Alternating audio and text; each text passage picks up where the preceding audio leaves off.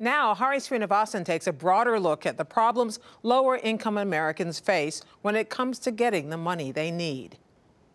South Dakota isn't the only place where payday loans are such a big problem. While a few states have banned or imposed strict regulations on these fringe lenders, they're ubiquitous in most of the country. In fact, there are more payday lending storefronts than there are Starbucks and McDonald's combined.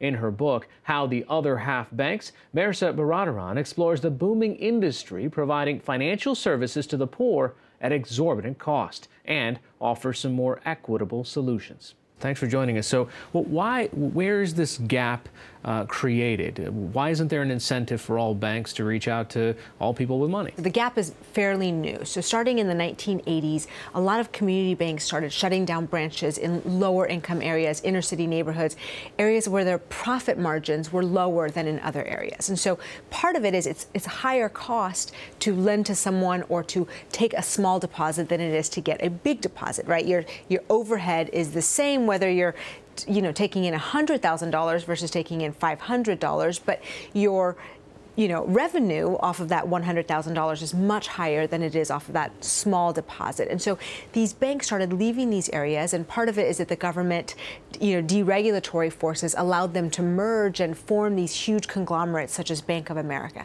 So as these banks leave, they leave this void for banking services. And this is a void that quickly is filled by these fringe lenders. So payday loans, check cashing. You know, when you go through certain cities, just like there are food deserts where you don't have a grocery store, it seems like there are are almost bank deserts where it's populated primarily with these lenders that you're talking about. How much money is there to be made? It's an $89 billion industry yearly, and it doesn't seem that way. So when you go into these neighborhoods, these check cashers or payday lenders, they seem like, you know, neighborhood um, joints, but they're really sort of multinational corporations. They're large, um, very profitable organizations, and they have this what I call a facade of informality, right? So it seems as though, look, they speak your language, they're in your neighborhood, but really behind them, there's a lot of bank financing. These are very sort of corporate, big, big firms. These companies are going to say, look, I'm taking a greater risk. This is a person that is not as credit worthy as someone who maybe walks into a Bank of America with a much larger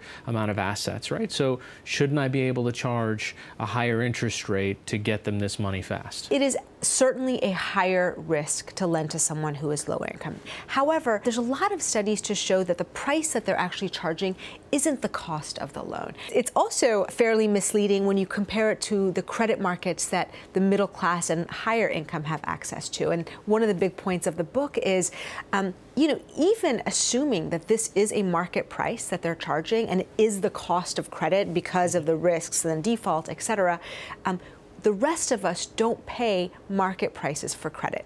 The credit markets, whether it's for our mortgages, our student loans, any sort of bank credit you get is heavily subsidized by the federal government. The book is called How the Other Half Banks. Mehrsa Baradaran, thanks so much for joining us. Thank you.